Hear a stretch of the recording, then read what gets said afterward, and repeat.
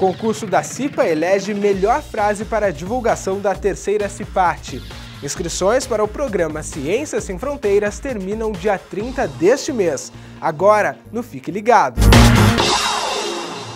Dom Ayrton José dos Santos é o novo arcebispo da Arquidiocese de Campinas. A cerimônia de posse aconteceu no último domingo, dia 15 de abril.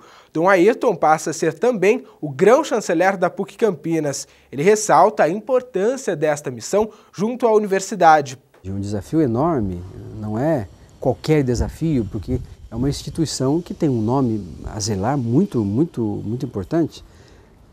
E até esse título de, de Universidade Católica, isso, isso faz a gente se comover. Né? como fazer, como fazer para que essa, essa, essa instituição de fato apareça com o peso que tem. E eu, eu quero contribuir para que isso aconteça, para que a nossa PUC seja de fato uma grande luz né, na sociedade, na Arquidiocese de Campinas, evidente.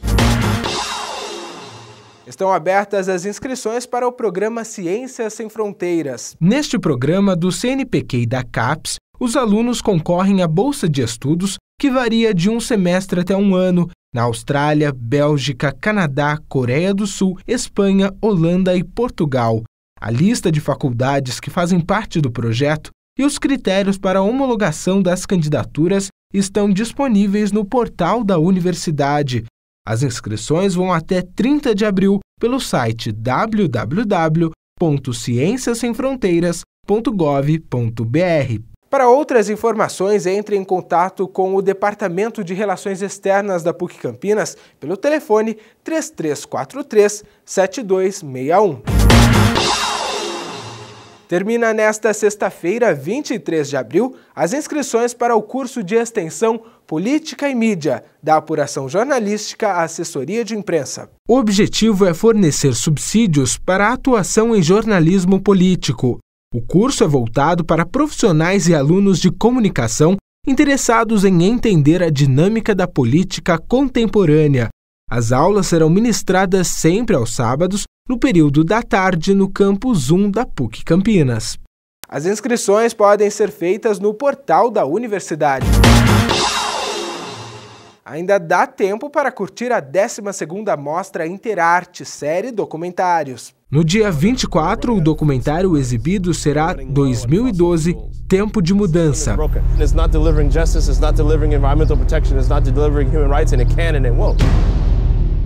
As sessões acontecem às 11h35 da manhã na Sala 800 e às 6 da tarde na Sala 801, no Campus 1.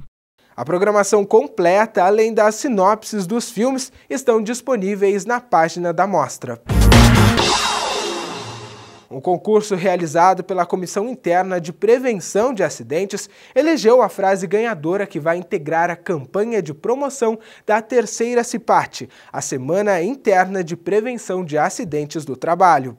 A frase vencedora foi: Seja consciente, torne a segurança e a sustentabilidade parte do seu dia a dia, da funcionária da Biblioteca do Campus 2, Suzy Naomi Ito Pérez. Como que você ficou sabendo desse concurso?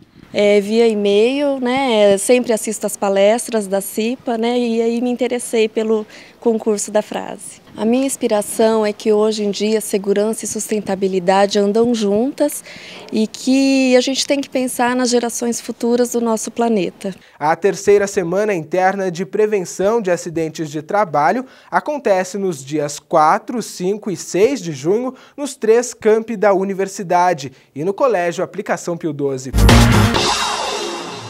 Chegamos ao final desta edição do Fique Ligado. Divulgue aqui as atividades de sua faculdade. Nosso e-mail é tvpuc.puc-campinas.edu.br. Até a próxima edição. Tchau!